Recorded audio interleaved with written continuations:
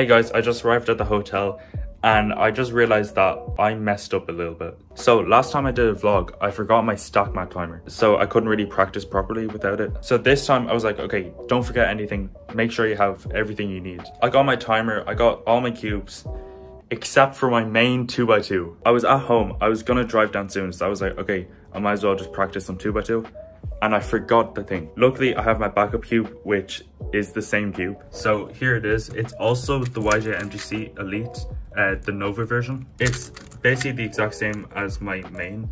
It's like, it catches a little bit more for some reason, I don't know why. But overall, it's still a pretty good cube. So yeah, it's pretty lucky that I have that packed and hopefully I don't do too bad. I did, however, pack a blindfold and you might be thinking, okay, he's finally doing three blind yeah, about that, I still haven't learned it. Okay, I'm lazy. I will learn it soon though, I promise. But this blindfold is for doing two blind, or it's not two blind, it's two by two with a blindfold.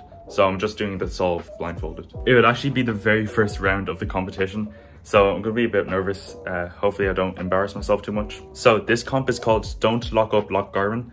Um, it's a huge comp. I'm really excited for it. Two day comp, there's about 150 competitors and there's even multiple stages. There's a blue and a red stage. So it's just like a championships. So all the events on the first day is 2x2, 4x4, 5x5, Megaminx, clock and one-handed. And on the second day is 3x3, skewb, pyraminx, which I still suck at, so I'm not doing it, and square one, which I don't have. So this might be a bit surprising, but the event that I was practicing the most for this competition is 5x5. I've done about 200 solves over the past week because I'm obsessed with it. I really enjoy it. This is my first time competing in 5x5, so hopefully I do pretty well. And final thing, this is my first proper vlog while being sponsored by Speedcube Shop. The link to Speedcube Shop's website is in the description. Go check it out. They have everything you need for speedcubing. And if you're buying anything, you can use code Scooch for a 5% discount. I think it's a great code. It's short, it's simple, uh, it's symmetrical, kind of. So yeah, go check out Speedcube Shop. They're amazing. And yeah, that's all I have to say. Let's start practicing.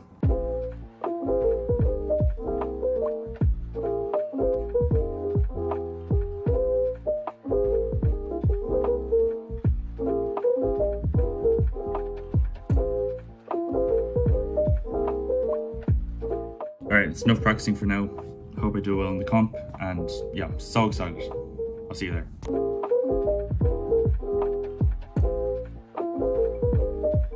Before going on to the first event, a few weeks ago Killian said he can do a 2x2 to 5x5 relay faster than I can solve a 5x5. So we did a race. I like the color. Thank you. Oh, yeah. Why did you do that? Make sure to use code Scooch at Amazon checkout. you can't even put that in, I don't think. Uh, two by two. Five by five.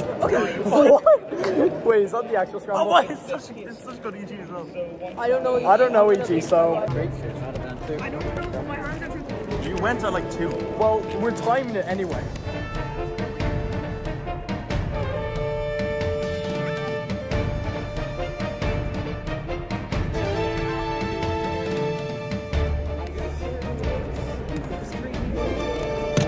Ronan, Ronan. Wait, I need to watch this. Yeah. I gotta go watch this. I need to You're stack bad. No, I just. We're... That's not bad. You're bad. After that, I started practicing the first event, which is 2x2, which I'm doing with a blindfold because why not? So when Rami Sbahi did this, he was apparently told not to do it again. So I asked a few delegates if I'm allowed to do it, and they said I can as long as I don't attract too much attention. To be honest, I was a bit nervous as there's a good chance I DNF the average, especially because I'm using my backup cube. Luckily, this first scramble was really nice and I got a 1.44 blindfolded world record. Even though literally nobody does this, but still, world record, yay. The second scramble was alright, I got a 1.74. On the third solve, I did a nice cancellation. It could have been quite fast, but I locked up a bit and got a 1.82. But then, this is where disaster struck. So on the fourth solve, there's a 4 move EG2 face, but unfortunately I don't know full AUF prediction for EG2. I know a few, but I didn't know it for this case. So here I have two options. The safer option, do the EG2 solution and just hope it skips AUF, and if it doesn't, whatever, it's not a DNF, just a plus 2. Or option B, try to do a much harder CLL solution, which I can predict AUF for. I went for option B, the harder option, because I have dignity, okay? I have integrity. I'm not just gonna bail out and sell for a plus 2. I will do whatever it takes to get success on this solve. What am I doing? I deserve to DNF that. So yeah, I ended up one looking correctly, but messing up the execution and the part where you put on the blindfold. Moving on, the fifth scramble wasn't too bad, but I knew I could get a pretty good average, so I got kind of nervous.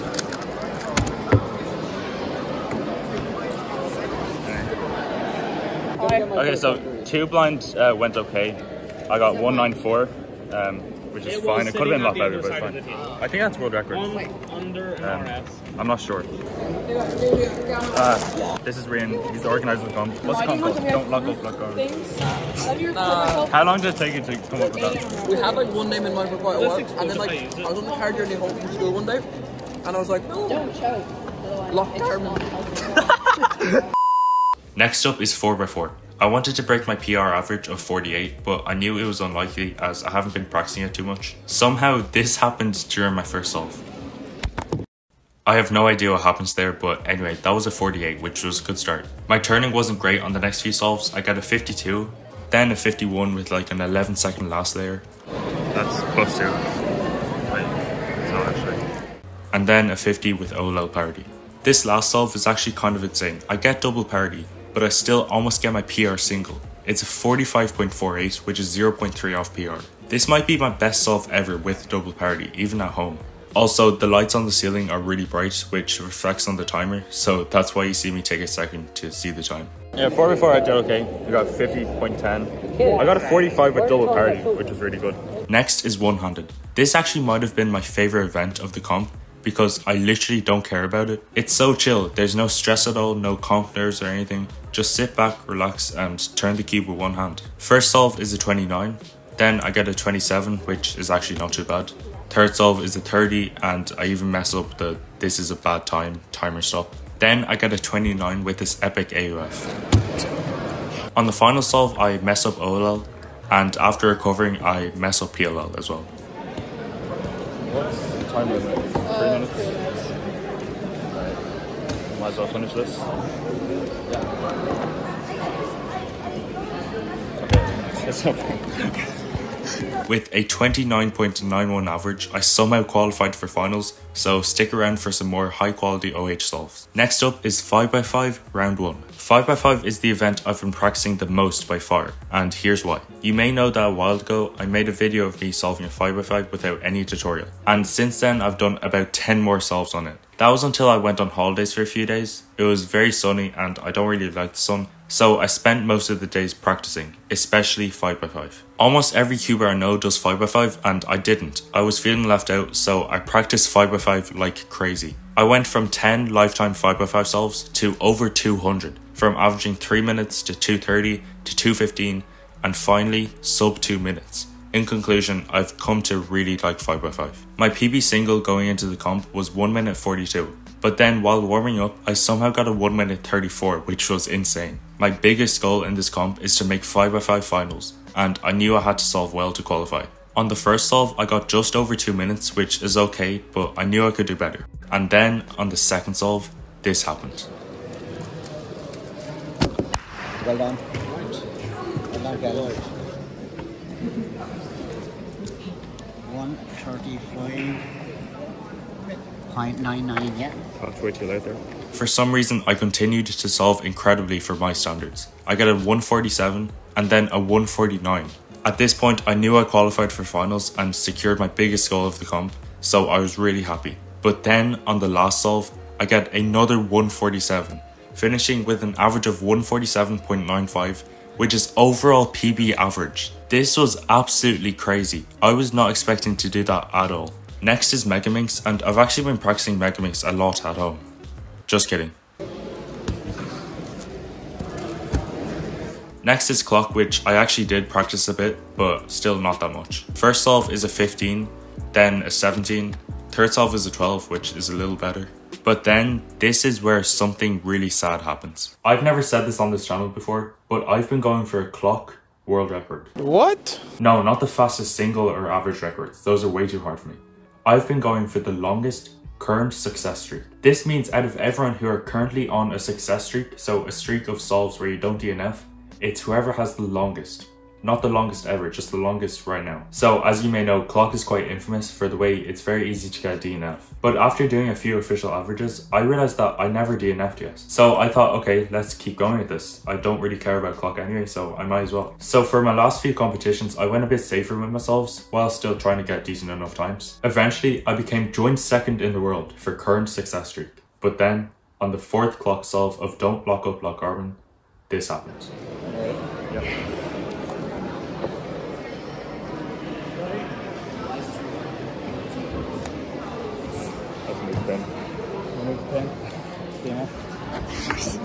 So yeah, I pushed a pin down during inspection, which is an instant DNF. I was so annoyed because this is probably the lamest, most boring way I could have ended my success streak. I wish it was something like me thinking it solved at first, but then the judge reveals the other side wasn't solved. Then I would like stand up and do a crazy angry reaction or something. But nope, pushing a pin down during inspection. I hate this event. On the final solve, I was just so annoyed at myself and I accidentally DNF'd my average, but I didn't really care. Honestly, it's kind of fitting that I DNF'd the average after what just happened. This actually does have a silver lining, as now I don't have to worry about DNFing as much, and I can actually try get fast times now. Watch out, Jacob. Anyway, in this same round, Namoon got double Mongolian NR, also Rian and Sean both got close to Irish NR average. More on these three later. Next is one-handed finals and I'm not even going to show all the solves, they're so bad. This solve here is really slow, so I tried doing end moves for the first time.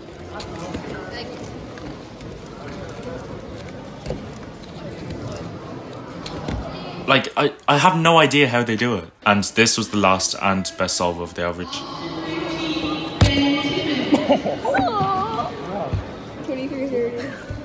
It was the announcer, right? That was actually, yeah, yeah, obviously. And I finished with a 34 average. World record? Next is 4x4 finals, and something quite funny happens in this round. My first few solves are normal. I got a 50 on the first one, then a 45, which was 0.4 off PR, then a 50, and a 55. Some pretty average solves so far, but then this happened. Dude, still going. What the? It's still going. It's still. What? It- It's it's- broken, it's broken, it's broken. That's broke, yeah. That's extra. What's that? what? Wait, what? It just Uh, you probably get an extra for that for a timer. Okay, yeah. So I get an extra for timer malfunction. And for some reason on the extra solve, we use the same timer.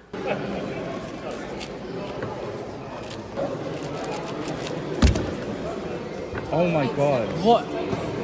Wait, what the hell?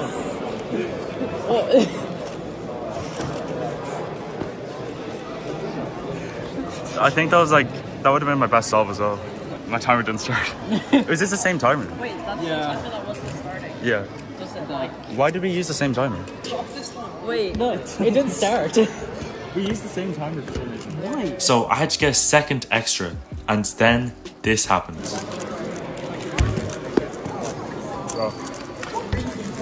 That's my PR, I think. Just so dumb. I think that's my PR. Oh, I wonder how many people have gotten PR single on an E2 before. Surely it can't be that many. I finished with an average of 48.62, which is 0.25 off PR. I kind of wanted to get PR average, but I was still happy as I haven't got sub 50 average in a while. So next is clock finals, and as I DNF first round, I was scrambling for this round. And oh my god, this might be the craziest round I've ever witnessed in a Cuban competition. So first of all, Namoon gets double NR again, with a 6.2 average and an even better sub 5 single. Also, Rian gets Irish national record average of 5.91. This took away the NR from Sean, who has previously been the holder of the record since 2019. But then, about two minutes later, Sean takes back the NR with an average of 5.90, beating Rian by 0.01. So yeah, that was absolutely insane. And next is 5x5 finals, and I went into God mode this round. I don't know how, it might have been all the hype and adrenaline from the clock round, but I was solving really well. A crazy 141 was followed by an unfortunate 157. But then on the third solve, I get another 141. Before this competition, I've never gotten a 141, and then I somehow get two in one official average. Solve 4 is a 154, and the final solve is a 144. I just got overall PB average again, an average of 1 minute 46.74. My biggest focus for this comp is 5x5 and I got back to back PB averages, so I was super happy. The final event of day 1 is 2x2 finals. Improving NR would be nice, but I wasn't feeling too confident with my backup cube, so I was just hoping for decent scrambles. The first scramble was really good, but I lock up and get a 1.74. Second solve is also quite lucky and I get a 210. Third scramble is kinda trash, I do a solution with a pretty bad EG2 and get a 207. At this point the average is dead, but leading up to this round I had a streak of 8 sub 2 averages and I didn't want to ruin it. And then I got this on the fourth solve. So I would never celebrate a 1.7, but I was genuinely afraid that I would lose my sub 2 streak, so I was really relieved. Here's another angle of Solve 4. This is taken by Seb, who actually recorded the whole average, so it would have been nice to get an R, but it was not meant to be this time. The final scramble was bad, and I did the same garbage EG2 I did in the third solve, and this happened.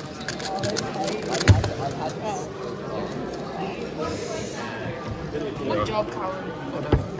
Up. So yeah, a plus two the final solve, but I wasn't too fussed about it though because the average wasn't great anyway. I finished with an average of 1.97, which means I got a better average with a blindfold. Well, looks like I found my new method. Alright, so on day one, I got a world record, even though literally only one other person has attempted this, but I also smashed my goal of doing well in 5x5 by getting overall PB average twice in a row. A successful day if you ask me. Now it's time to see if day two can match the successfulness of day one. Spoiler alert.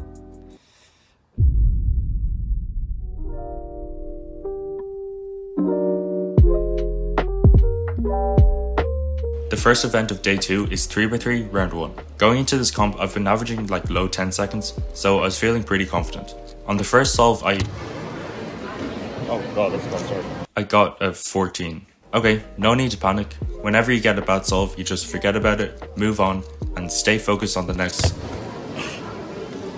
Okay, maybe it's time to panic. Luckily, the third solve is a bit better and I get a 10 flat. At this point, I've somewhat gained my composure and with a few lucky cases, I get a 905. But then went back to being trash and I get a 12. I finished with a 12 average. Yeah, let's move on. So next is Skewb round 1, but before I compete, something crazy happens. So this is Ronan and he's been going for Skewb national record for a while now. He's never gotten it yet, even though he averages way faster than it at home. So here, he's done his first 3 solves and he's on track for NR average. Then he gets a really good scramble, which also has NR single potential, which is currently 1.97. And then, this happened.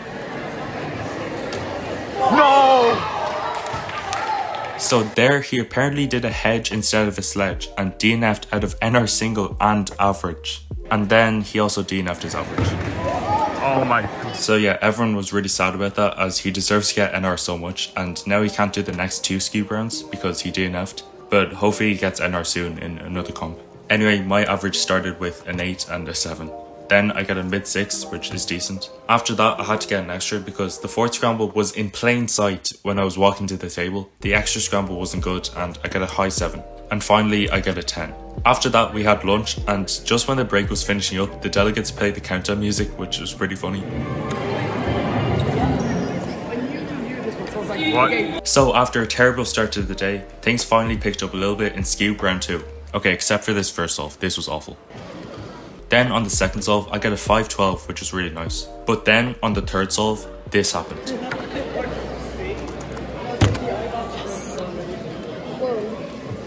No. Okay, wait a second. I averaged 7 seconds on Skewb, and now I have multiple 2 second solves in comp. This ain't right. I'm pretty sure I don't even have a sub 3 at home, so to get 2 of them in comp is so stupid. On the fourth solve I locked up a lot and got a 7. And right before my fifth solve, William, who's the national record holder, he was solving on the other stage and he improved his NR average, bringing it down to 340, which is insane. His final solve was really close to a plus 2, so they had to wait for a delegate to confirm it solved, and this was the reaction. Anyway, on my final solve, I got a mid 5, which actually got me PR average of 6.06. I think it's safe to say these scrambles were a lot better than the first round. Next is 3x3 round 2. For some reason, the first solve didn't record, but it was a 9.6. On the second solve, I choked so bad. The third solve was going really well. I was on PLL at around 7 seconds and Okay, let me explain what happened here. So I got this really good OLL and I also noticed that because these are matching and this is opposite, all the corners will be solved. Then when I did the OLL, it gave me this. So big bar facing me and I know the corners are solved and then I dropped the cube. You stupid. The fourth solve had really nice F2L and I got an 8.64. Fifth solve was really lucky and I get an 11. I finished with an average of 11.09 which is better than round 1 but still kinda trash. Hopefully it goes a lot better in finals. Next is square 1 which I don't do but this is Richard who's really good at squan and after months of grinding he finally gets national record average in finals. Skewb finals is next, and these scrambles were horrendous. So at the end of a Skewb solve, you either get U perm, H perm, or Z perm. U and H are pretty good, but then Z perm is like the devil of Skewb. I got a Z perm in my first two solves, which is so rare, and the average started with two sevens. Surely I can't get three Z perms and oh god damn it! On the fourth solve, I finally got a U perm and got a 6, then another U perm on the last solve and another 6. I finished with an average of 7.42. Yeah, I'm putting all the blame on the Z-perms. It's time for 3x3 finals. On the first solve, I got a 9.24 with a nice F-perm, which is a great start. Second solve had a lot of pauses and I got a 13. After that, I got the same scramble as the last solve, but it turned out that the last solve, I got the third scramble. So for my third solve, I just did the second scramble. This solve had a few lockups and I got an 11. This fourth solve was actually kind of correct, so I'll show the whole thing. It ended with an E-perm, which I'm normally really bad at doing, but I executed really well here. And finally, I finish off the comp with another nice solve. So sweaty. So in 3x3 finals, I got an average of 10.07, which is way better than the other two rounds. Like, I was just so inconsistent the whole day. I was happy to actually get a decent average, even though it probably should have been sub 10. So 2x2 is the only event I podiumed in, so no surprises there. Good job to CJ and Richard for also podiuming, as well as everyone else who podiumed, and to everyone who was at the competition. Um, the only PRs I improved in was 4x4 single and Skewb average, uh, which is kind of understandable. I mean, I've barely been practicing most of the events, but I'm just really happy that I did so well in 5x5. Big congrats again to Namoon, uh, Richard, William, Sean, and Rian, kind of uh, for their national records. A lot of NRs in one comp and it just made it so exciting. So that's the end of the vlog. Make sure to check out Speedcube Shop in the description below. Use code SCOOCH for 5% off any orders. Also, I have some very big videos coming up, so subscribe if you want to see what I'm currently working on. Uh, it'll all be out in about three or four weeks time. Thanks for watching and I'll see you in the next one.